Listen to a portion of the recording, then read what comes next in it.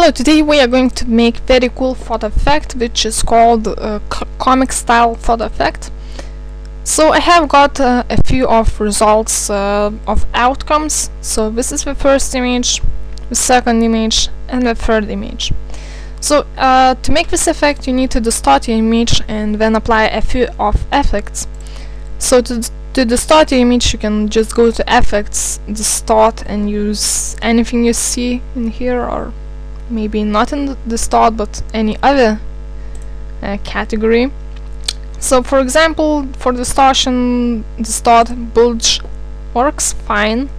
So you can just play with it. And maybe get something that's pretty cool.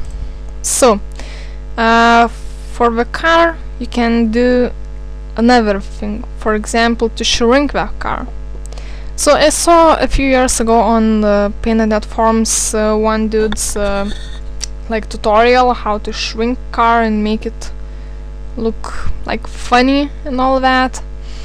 So if I will find the, uh, the topic I will post uh, the link in the description. If not, well sorry. but um, his method was like uh, take rectangle tool and draw uh, the stripes like this and then just delete these parts and like shrink the car to the one of the sides.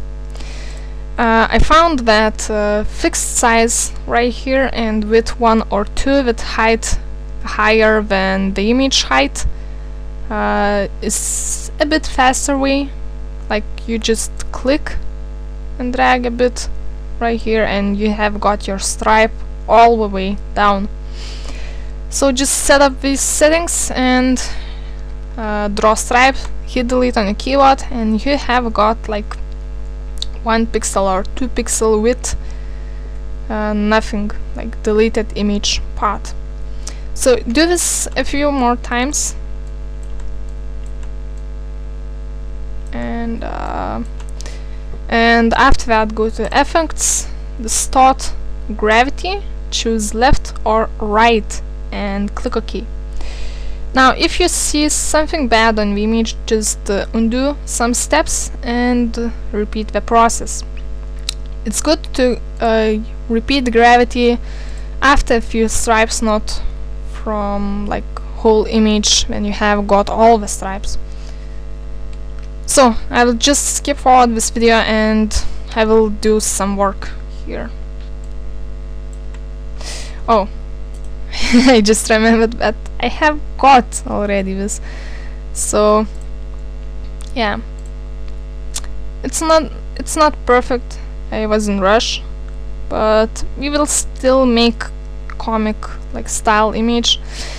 Um, after doing this method you can notice that there's a lot of blank space in right or left side uh, so just choose magic wand tool click on that side which is like blank invert selection by going to edit invert selection or control I on your keyboard and go to crop to selection go or edit. Um, no no no no. Image crop to selection or control shift X on your keyboard. And everything should be good now so uh, now we can make the style, the photo effect itself. So duplicate the layer twice. On the top uh, layer go to effects, uh, artistic, find edges.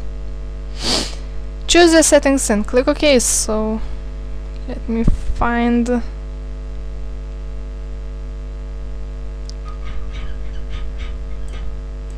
press OK change this layer blending mode to multiply. Click OK. On the second layer go to effects artistic dream.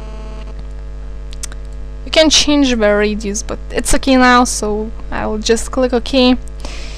Now if you want you can just image flatten and maybe to lighten it up by going to adjustments, curves, levels or anything else which can lighten your image. So for example, and that's pretty much it. Hopefully you liked this effect and I see you next time. Uh, so uh, also the results are greatly appreciated on the Facebook group. So the link will be in the description below and I see you next time. Bye